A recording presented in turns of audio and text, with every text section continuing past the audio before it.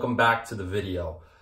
Today, we're gonna tackle part two of troubleshooting the sound issue with my Daytona USA twin cabinet. After speaking with Ken at Advanced Repair Center, he explained to me that the soundboard has an expansion board mounted on top of it. So it's two, two PCBs stacked on top of each other. One of them handles sound effects, one of them handles background music. On these boards are two identical 20 pin socketed chips. His suggestion is to try swapping these chips and see if the problem reverses, meaning would all of a sudden I get background music and no sound effects. If that's the case, it's a matter of just getting a new chip. If that doesn't fix anything, the board may have to get sent out for repairs or it may need to be replaced. The main issue with getting to this soundboard is its location. It is buried deep inside the cabinet. It is underneath where the pedals are and pretty far back. So it's gonna be a challenge, but hopefully we could get it done and move on to phase three, which is getting this, getting this thing repaired. Stay tuned, we're heading down the basement. What we're looking for is what he calls a, a GAL socketed chip, a GAL chip. Uh, 20 pin, part number 315-5579. He says right below it is another one. We got to swap them out. The soundboard has three Molex connectors that have to come off. One's coming from the main board. Then you got your power coming in from the power supply. And then all, this is your audio out, like we talked about in the previous video. So we have to disconnect these three connections, somehow get the screws off of the PCB feet and get this thing out. This is no easy task, guys, let me tell you. We're heading back into Daytona, right side, and we are going deep under those pedals and get this board out without damaging it. And then we're gonna have to put it back. All right, let's go over here. I'm sorry for the bad angle, guys.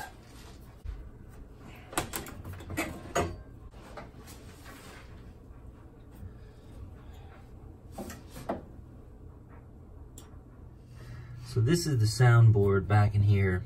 You could see there's a small printed circuit board up here, all right? That's that extension board that Ken Westerfield was telling me about. So according to him, there's a 20 pin chip, socketed chip on the top board and directly underneath it. I would guess it's gotta be this guy right there. I believe it's this one right here. But if I had to take a guess, I think that's that would be it. I'm gonna review the footage and see if I can get a number off that chip. Oh my God. Not good. Let's see if I can get bigger of this. So there's four feet and the screws that hold this down are not screws at all. Look, right here. They're nuts. I don't think I have a stubby driver to get that out that'll fit in there. I'm not quite sure what size it is. It's not, not gonna be easy, guys. Power supply is disconnected, so I got a little extra room here. I wanna show you guys the Molex connections that gotta come off. So we're gonna come in here. First we got this one over here with the red. Then back here, we got this guy with the yellow cables. And then further in the back, we have, this is actually one connection back here. Um, and it feeds, that's what feeds the, um, the mixer that we showed in the last video. So those three connections have to come off to begin this process. So I'm gonna see if I can pull them off right now. I'm gonna see if I can get the Molex connections out of there. You wanna be very careful with this stuff, guys, because it's old, it's brittle. Okay, that one came out pretty easy. What about you, buddy? Okay. Oh, okay, cool. That came out pretty easy. How about this dude in the back? Of course, the one in the back is not gonna be easy. And I don't wanna pull it by the wires because I don't wanna pull it out of the Molex by mistake. It's just kind of hard to get leverage in here. This one's really breaking my chops. The other two came off easy.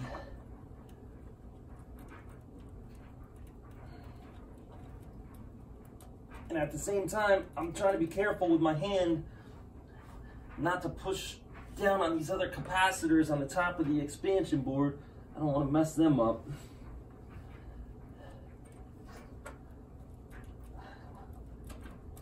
Come on, got it. Got it, got it, got it. Okay. All right, guys, I'm gonna try and see if I can confirm what size that thing is. I might be able to get in there with like a ratchet, maybe. Yeah, it's like a, it's gotta be metric. It's like a hair smaller than 5 sixteenths. Uh, this one's actually, I wonder if it's hand tight. This one is hand tight. Um, now, this nut is on there hand tight, just the one in the front that I could get to. So who knows? Maybe I maybe I get lucky and the back is hand tight and I can just loosen it by hand. That would be awesome. So if not, oh man, I gotta. I don't even know if a ratchet would fit on there.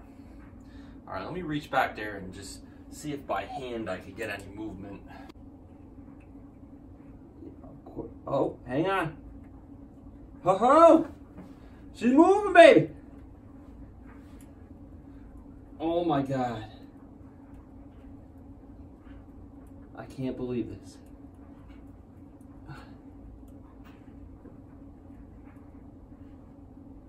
I got it. I got it. Oh my God. Oh my God. So now I should be able, I should be able to pull this thing out of there very carefully.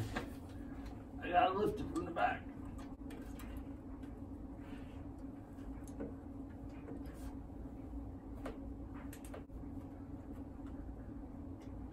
Oh, there was another. There's one more Molex I missed. That ain't friggin' easy. Oh my god, that's gonna be a pain in the neck to get back in there. Holy, I didn't realize that. So there's four connections. So I gotta be very careful here. Not to screw anything up. Of course, this one is tight as shit, too. Damn. Got it. Got it. Oh my gosh. Oh my gosh. Show you the soundboard. So the connections, just to show you guys, so we had this one right here, we had this one right here, and then it turned out I didn't see this one down there. So it's these two. Okay, soundboard is out. Now I gotta give it up to Ken from Advanced Repair Center, iRepairSega.com. This guy is unbelievable. Now I know he was like a lead Sega technician back in the day, so he knows this thing inside inside and out. I mean, this thing is from 1994. This guy was busting out part numbers like the back of his hand. He tells me, he goes, Mike, you're looking for a GAL chip, part number 315-5579. Off the top of his head. He didn't know I was calling. That's pretty amazing.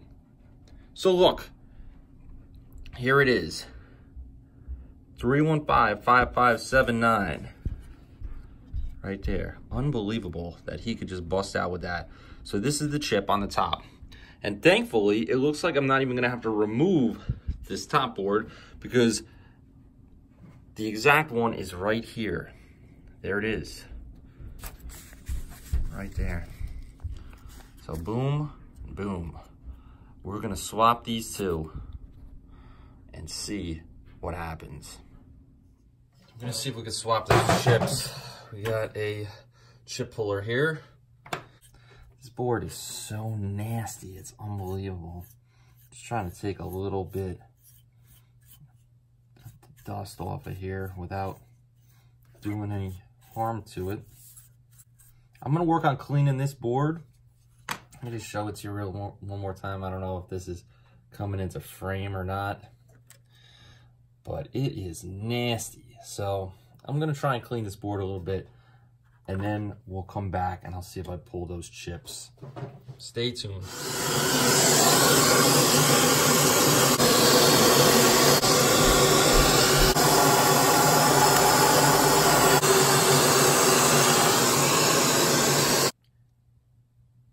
All right, guys, so I didn't wash it or anything like that, but for just a quick, simple cleaning with a soft bristled paintbrush, just very gently, we got it looking pretty good.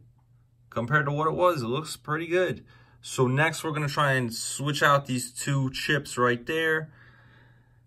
The 315579 chips we're gonna swap them out and then we'll try and put this thing back in. Chip puller.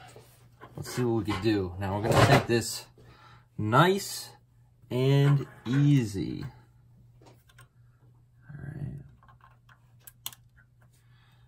I'm gonna try and secure the board a little bit. I'll make sure I get this correctly.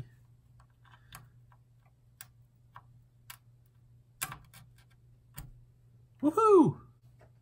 Here's the chip. It's one down. Now let's see if we can get the other one over here.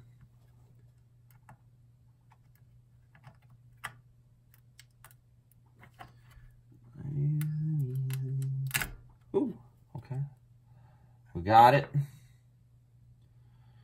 Now for the transfer. in.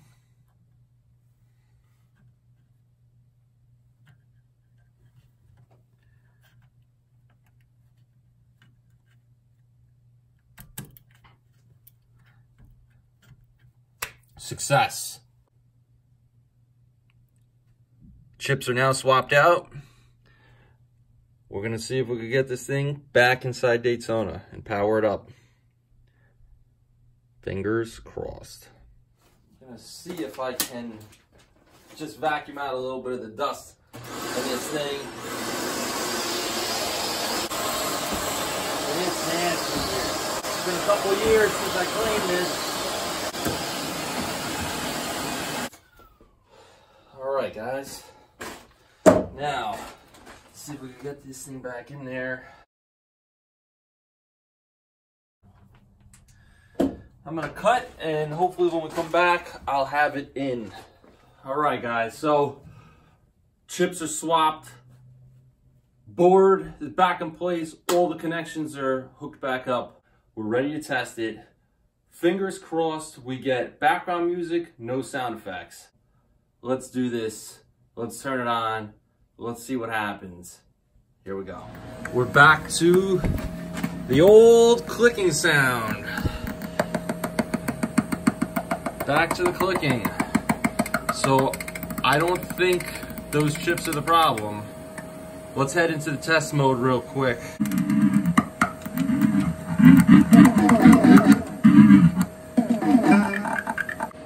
So we are at square one. Oh boy. Okay.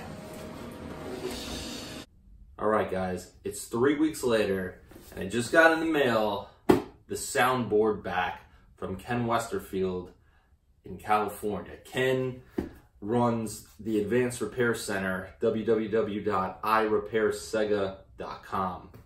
And he worked for Sega of America back in the day. He was like the main technician and he knows Daytona inside and out. So when I have problems, I go to Ken.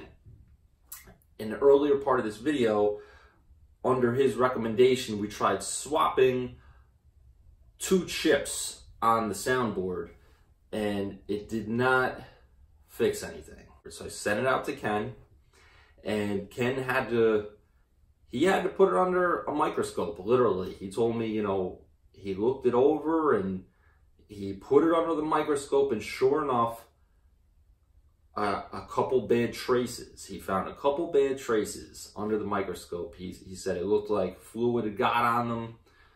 I'm not sure how. It's possible that just, you know, the summer, summertime in, in my basement, it gets humid down my basement. Maybe the humidity got to it.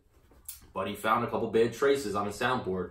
So he repaired the traces and supposedly we are back in business. So I got this back from him about a week ago and just haven't had a chance to get to it. So today's the day. We're going to unbox this. We're going to take a look at the PCB, uh, see if we could see any of the traces he repaired, see if we could do, see some of his work. And then after that, we're going to install it back into Daytona. And hopefully tonight, we'll be playing some Daytona. So let's head down to the basement and open this puppy up. Okay. Let's see what we got, guys. My man Ken Westerfield. Let's see what Ken says. Reported problem, music not right. Repair performed. Repaired corrosion on main PCB runs fine now. All right, cool.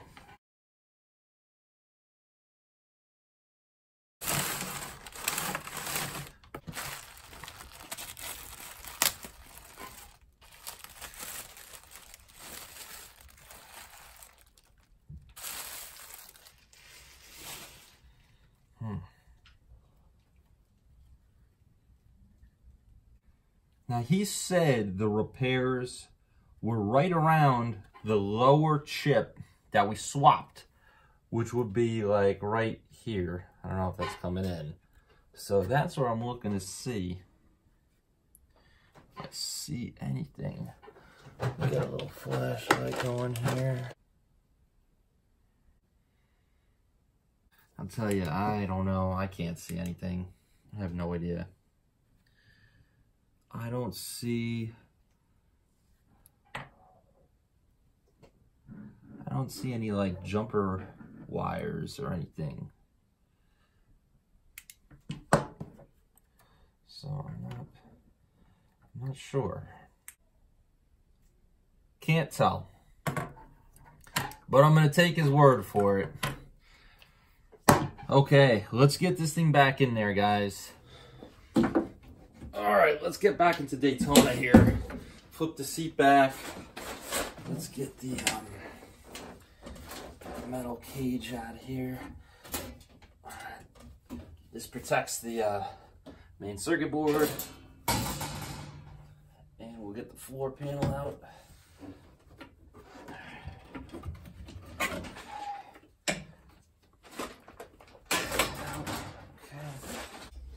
There's not much you guys are to be able to see because I really got to get in here again.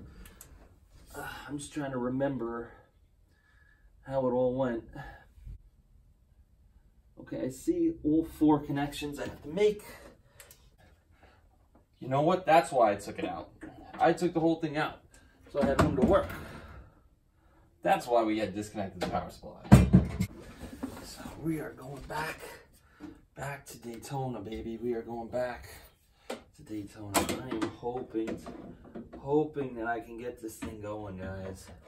I would love to play some Daytona tonight. Maybe stream on Twitch some original hardware. Oh, that'd be cool, wouldn't it? Okay. Oh man. man this is not this is not easy, guys. Holy cow. You think four connections wouldn't be that bad? But I'll tell you what, the angle you have to catch this thing is crazy.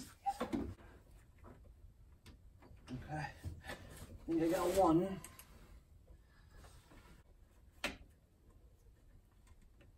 it is, okay.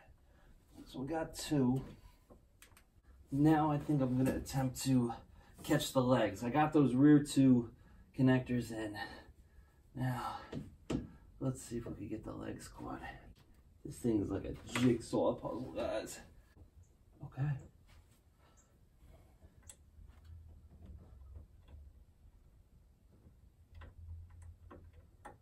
Feeder. Feeder caught. Ah, just got the third Molex connection. And now I just got to plug in the power, which I had problems with last time. So hopefully you get it this time. I think that's it. I think we're in. I think we're in. Okay. Let me hook the power supply back up.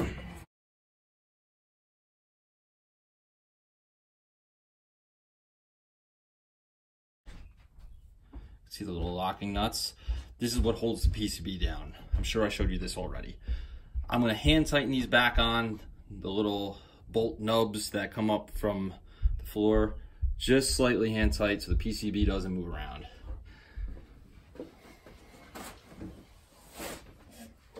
Probably would have made sense to do this before I put the power supply back in, but whatever.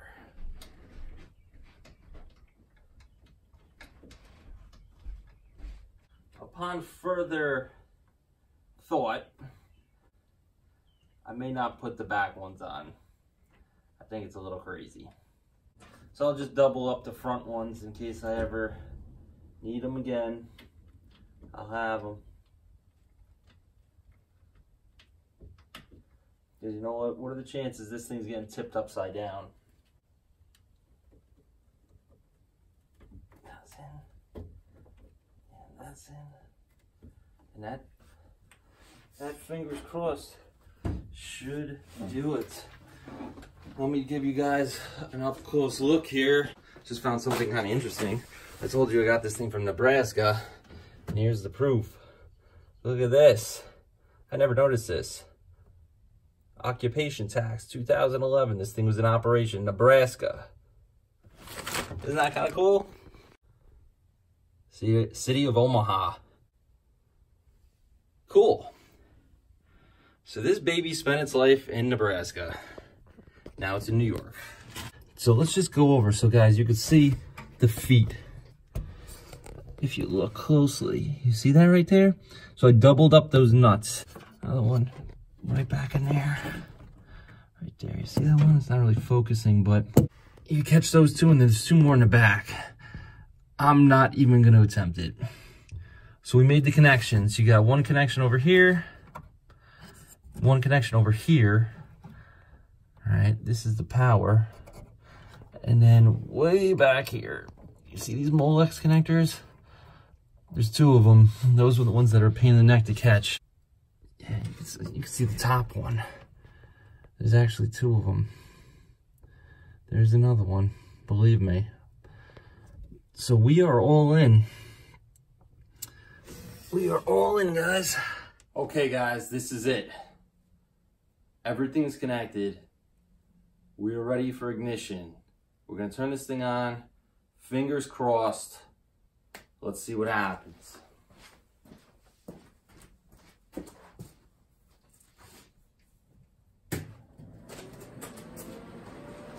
Okay. We just check the volume. That's not too high. I don't want anything to blow here. Monitors are booting up. Oh,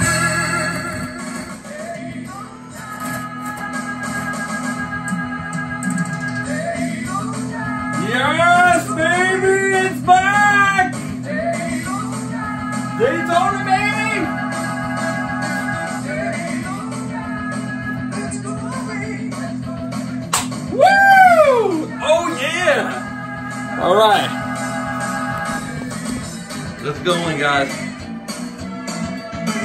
Oh, yeah. We are, right now I have the volume turned off on the left, and we are going exclusively from the right, and it is looking great. Oh, yeah.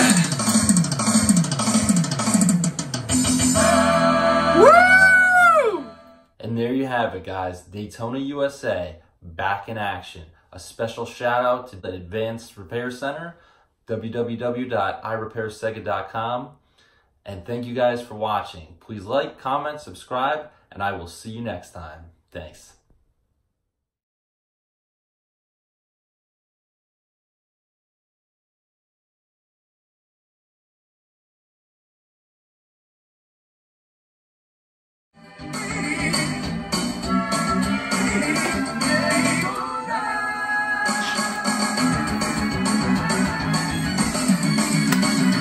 All right, guys.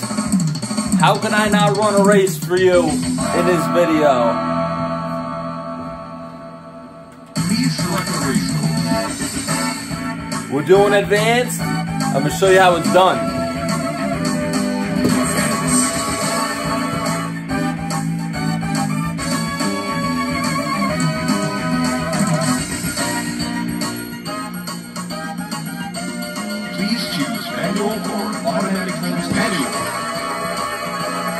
Gentlemen, Here we go.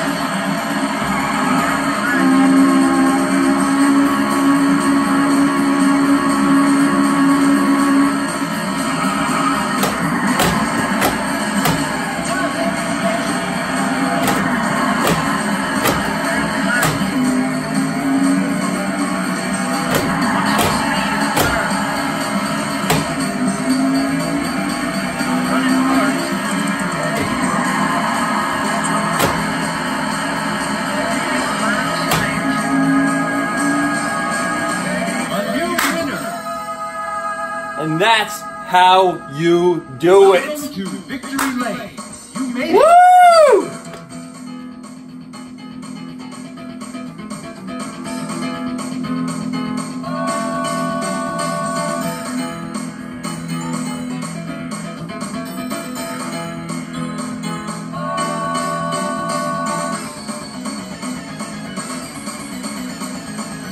Daytona, baby!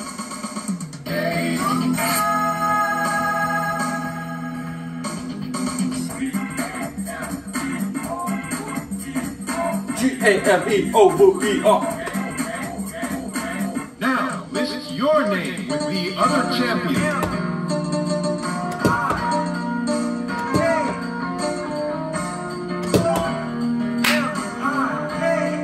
Guys, thank you for watching. We will see you next time.